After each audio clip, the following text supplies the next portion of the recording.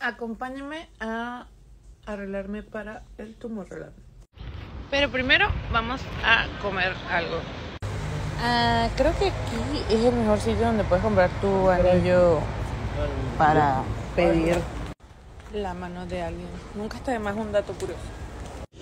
Starbucks o helados.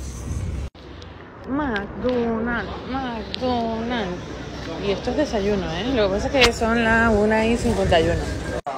Pues sí, decidimos el tercer lugar y así se pide aquí.